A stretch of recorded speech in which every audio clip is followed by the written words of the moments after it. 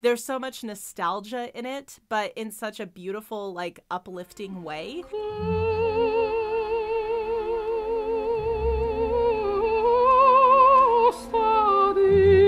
everyone. Welcome to the Opera Cecilia YouTube channel. My name is Taylor Gonzaga, and I'm the artistic director and founder of Opera Cecilia. And whoa, have I been busy this fall. So it's been a little while since I've been on the channel, but I am so happy to be back.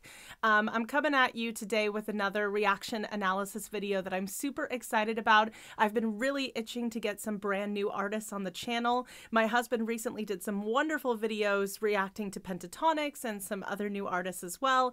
And we have gotten some videos up little by little, but we're super excited to get back to posting with higher frequency to this channel because we are really so thankful to all of you guys who have supported this channel and made its growth up to this point possible. So, um, if you enjoyed this video, don't forget to give us a like, comment, subscribe, and support Opera Cecilia. We also recently just started a Patreon, and the information for our Patreon account is in the description of this video. So, we really, really um, encourage you to check that out as well because there's some special perks, of course, for Patreon members that decide to further support this channel.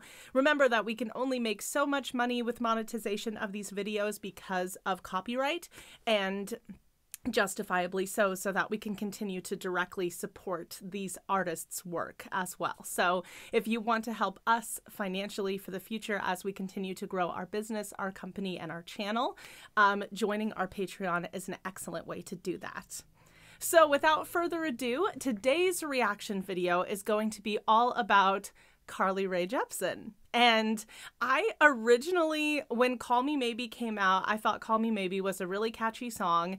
And I didn't look much more into the artist than that.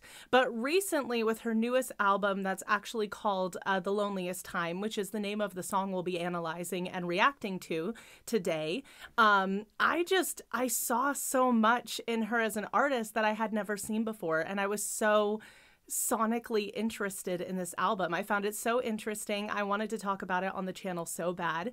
And so, of course, we're going to do the title track from the album because it's my personal favorite. And it's also a little bit famous on TikTok, just a little bit. For those of you who are on that app, I didn't do a ton of background um, research on this particular album or this particular song. I've been jamming to the song for quite a while now. I absolutely love it. It's definitely on my playlist now um, because I find the format of the song so interesting. I definitely have my observations, but there's not a ton of nerdy analysis in this video. This is a little bit more just my raw reaction to the music based off of my musical qualifications. And I'm never an end all be all expert on an artist, of course, so there's definitely some things that I'll I'll probably miss. But I did want to give background on just one artist. I wanted to give a shout out to the collaborative artist because everybody knows Carly Rae Jepsen at this point, um, but not everybody knows who she was singing a duet with on this piece. Rufus Wainwright is a Canadian artist, so there's some great Canadian representation happening in this music for sure. He was really inspired by artists such as Blondie and a lot of other rock artists, both male and female, and um, that kind of served as a catalyst for his musical career. And he's had a musical career with a lot of variety as well. And one of the cool things that actually ties into some of the main themes of our channel and the main subjects of our channel is the fact that he actually wrote two operas himself and premiered his work with the Canadian Opera Company, which is a pretty prestigious company in Canada and does uh, some absolutely fantastic work. I've been hearing a lot from their emerging artists recently in particular popular and they have such promising, wonderful voices in their emerging artist program right now. So it's so cool that he also branched out into classical music and was drawing from many inspirations to make some modern opera works, and that he even has that on his resume in addition to having released many albums himself, being on pop and rock albums, alternative music albums. It's just so cool to see a really versatile artists like that. And I wanted to give a shout out to him because not everybody may have known that information or known more about his background. So I think it's really cool to um, just give just as much acknowledgement and reaction in this video to the artists that the perhaps more mainstream popular artist is collaborating with and not just the artist herself, even though Carly Rae's fantastic too. So without further ado, we're going to dive into the video. I just wanted to go on the nerdy journey with you for a quick second, and we're going to look at the official music video for Carly Rae Jepsen Jepsen and Rufus Wainwright's song, The Loneliest Time.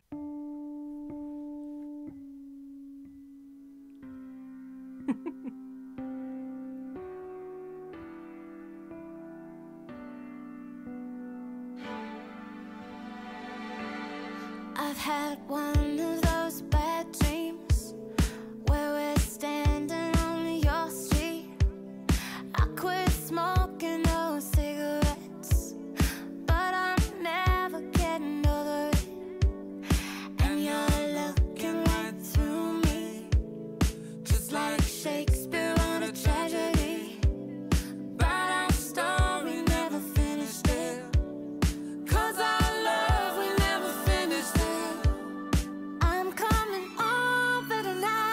love it so much.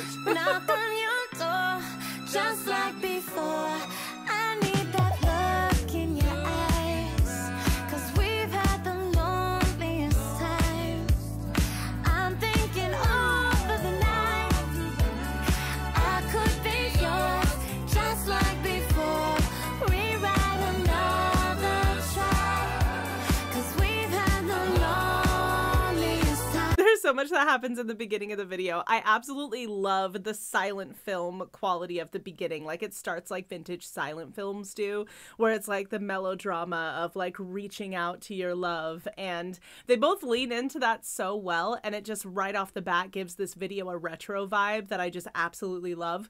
I love all of the different cultural, like pop culture references that are happening in this video, but it's like pop culture from the past, you know?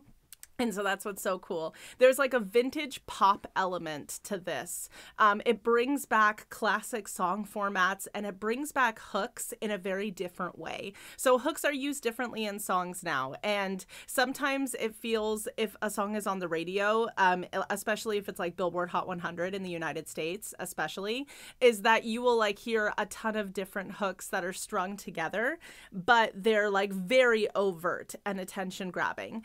And to me, this song has a ton of like little subtle hooks that instead of just being strung together, they're sort of la- layered on top of each other, if that makes any sense at all. That's just what I feel like. There's hooks in the instrumentals, there's hooks in the harmony. There's so many potential things that could get stuck in your head at any given moment in the song. And all of it is so much more subtle than some of the things that you're hearing in the pop industry, especially these days. Carly Rae Jepsen has a very unique brand of pop, and she draws from a lot of inspiration from the past, especially for this song, and that's so cool. I will also say that in addition to the cool retro music video, um, both Carly and Rufus look absolutely stunning in this video. And what I love is the fact that right from the beginning, there's just such a smoothness in the tone. And I know that has to do with editing and remastering the voices in the studio as well. But both of them have these very, very smooth voices, but it's smooth in different ways. So his timbre matches her so well because there's a contrast there. Her timbre is a little bit warmer and a little bit more round when she sings. Um, she muddies her consonants a little bit, but not so much that we can't hear what she's saying or understand the diction. Um, and then he has a little tiny bit more nasality or what people consider a cut or a bite to the voice. There's a little bit of a thinner quality, but not thinner in a bad way, just in a different way. Uh, but as a result of the two very different vocal timbres coming together, we have this incredibly aesthetically pleasing sound when they sing in harmony. I got a little goosebumpy the first time that I heard them sing in harmony together on this song because the harmonies are layered so beautifully and the beat is so infectious underneath them, especially when it comes in during the chorus and pre chorus. So, those are just some observations uh, just right off the bat from the beginning of the video. I can't tell you how much I love this song. This is one of my favorite new songs out there right now that's trending. So, I sincerely hope you got some value from that, and let's keep going.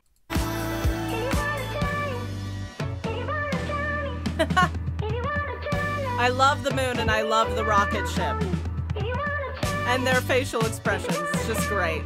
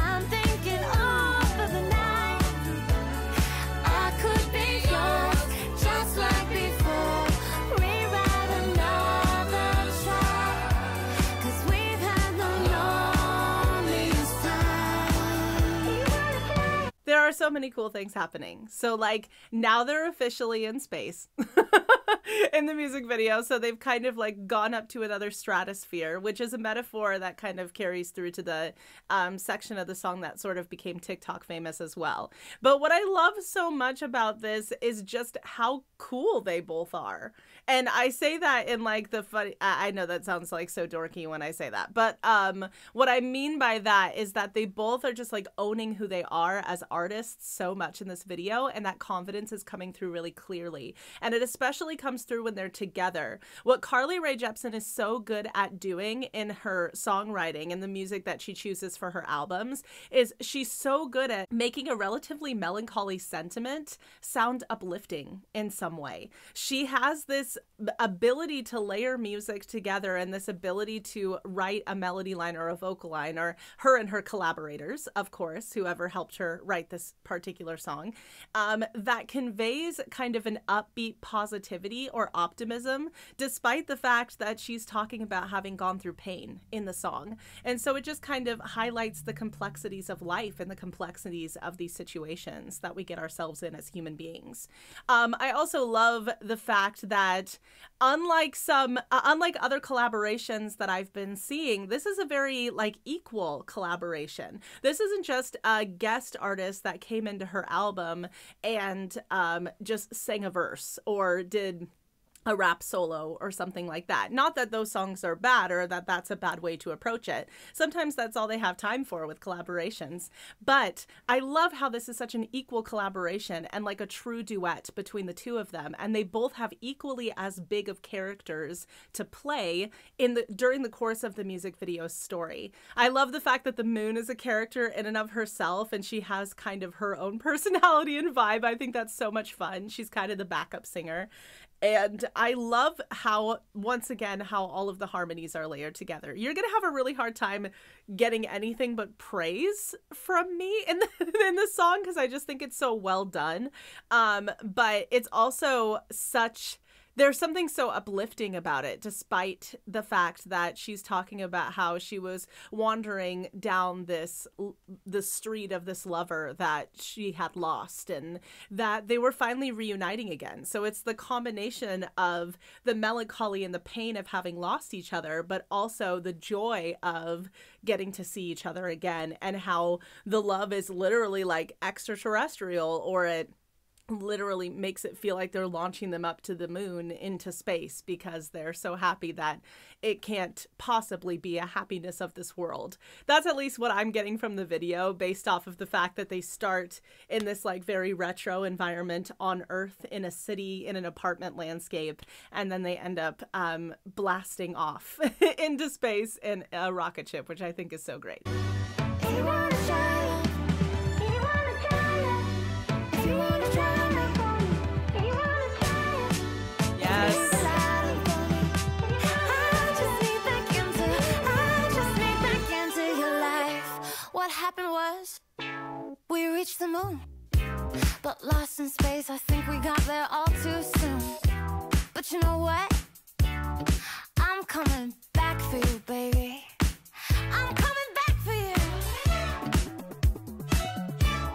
Going to go back and listen to that part again in just a second. That's the TikTok famous part. There's a couple reasons why a sound will become TikTok famous. At least these are my theories for it.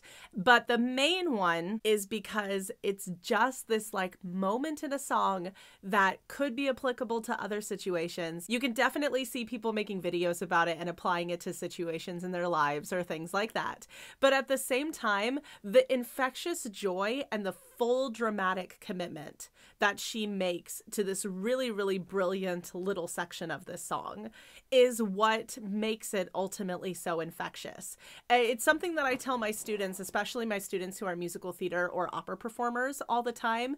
Um, I always tell them that if you're embarrassed by a gesture that you do on stage, if you are not willing to fully commit to it, then your audience is going to pick up on that and they're not going to believe you. And so you're actually more likely to feel embarrassed on stage if you don't fully commit to the gesture that you're potentially embarrassed by versus if you like hold back or try to censor yourself. A lot of people think that if they censor themselves on stage, it's going to help them, and it actually works to be the opposite effect in most cases. So I always just tell students to own who they are. And Carly Rae Jepsen and Rufus Wainwright in this video are perfect examples of artists that are fully owning who they are. And it's her commitment and the emotion that she infuses and the intensity that she speaks on rhythm, of course, and using vocal variety, a variety of different vocal inflections, all the colors of her voice. It's the intensity of all of that that makes it such an infectious sound for us. So I'm sure she maybe had it going through her head that, oh, this could be a great TikTok sound. I know a lot of artists are thinking in those terms right now, but I don't think that's the only reason this became a trending sound. I think it became a trending sound because of who Carly is as an artist as well, and the way that she delivered that section. So let's watch that infectious joy over again just because it's so much fun, and then we'll keep going in the video. All these fantastic dancers. What happened was They're the characters we in reached the themselves. moon, but lost in space. I think we got there all too soon. But you know what? I'm coming back for you, baby. Then we have this really fun retro instrumental. The mixing on the song is really good. The production's really awesome. These space costumes.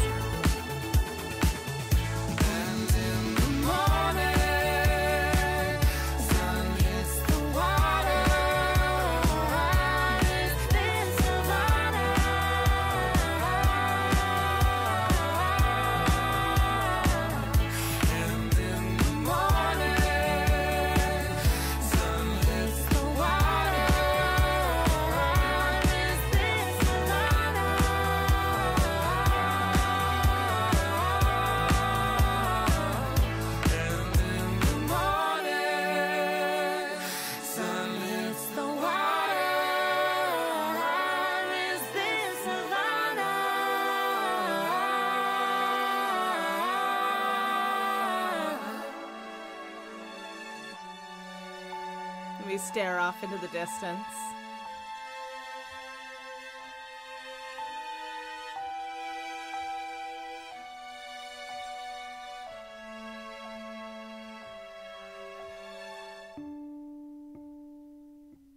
That's such a fun video. Oh my gosh. I love so much about that. I mean, you get so many references. You get stop motion animation. You have like 70s, 80s clothing styles and hairstyles. You have uh, kind of like a disco vibe to the way that the beats and the instrumentation are formatted. Um, you have so many vintage pop references. It kind of takes you back to like the beginnings of the pop industry and some of that like quintessential sound that that we found so catchy and infectious about the genre in the first place. There's so much that takes you back. There's so much nostalgia in it, but in such a beautiful, like uplifting way. Um, and she's just so good at portraying melancholy sentiments or actually kind of like emotionally heavy sentiments with so much optimism and love for life. And so there's just so many cool things happening in this song. I hope you enjoyed this reaction. I love that last section of the piece so, so much. That's probably my favorite part to sing along to in the car on the way home from work, to be honest. And um, I think the reason I love it is one, because of how beautifully the harmonies layer in their voices, the way that they handle their voices is very character driven and very dramatic in this piece in a way that's like also subtle and cool. They're keeping it cool. There's a little bit of playing coy, but at the same time, an ownership of the emotions and just an ownership of the fabulousness that is these the vibe of these two artists as well. And so the blending of these two together, it was such a wonderful, ideal pairing for a duet um, because the vocal timbres are so different and because they're so distinct in and of themselves, they work together and create absolute magic because of all those contrasts. I just love it so much. And I love how the song kind of breaks the traditional ABA format. We have all these different sections of the piece going on. We have pre choruses, we have bridges, we have like tags at the end. We have a fantastic refrain that gets stuck in your head. So there's so many things going on in this song that are so cool. But anyway, I could go on forever and ever. Please go support Carly Rae Jepsen and Rufus Wainwright. Go watch the source material for the video. Um, and the, all of that will be linked in the description. And I hope you guys enjoyed this. I had so much fun doing a little tiny bit of research for this, but mostly just like a raw reaction of all of my thoughts of this wonderful piece. Um, go stream Carly Rae's new album. The whole entire thing is absolutely fantastic. And we'll definitely have some artists that we've been traditionally doing on the channel. There's another Dimash video that we'll be releasing soon. Um, I definitely want to revisit Angelina Jordan because of some intriguing things she's been doing lately. And of course, we can't forget about Aurora. So, all of my fans of those artists, more videos from them will be coming soon, as well as some new fabulous artists as well, and some of your requests that you've been giving us in the past too. So, thank you so much for supporting the channel, and we'll see you all again next time. Ah, Bye.